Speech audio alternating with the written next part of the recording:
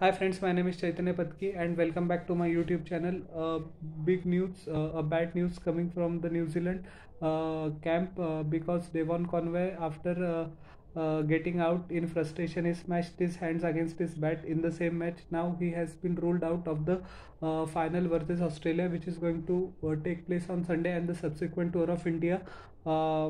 So uh, this is a big blow for New Zealand because as we know that uh, uh, Devon Conway plays uh, brilliantly well in the middle overs and once he is set he takes the attack to the opposition in the uh, final overs as well. In all likelihood Tim Seifert will come in but Tim Seifert is almost uh, naturally destructive as an opener.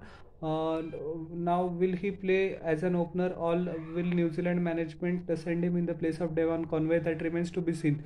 So how did you like my analysis of this news? Please tell in the comment section below and don't forget to like share and subscribe to my channel. Uh, and press the bell icon for further notifications. We'll meet in the next video. Till then everyone bye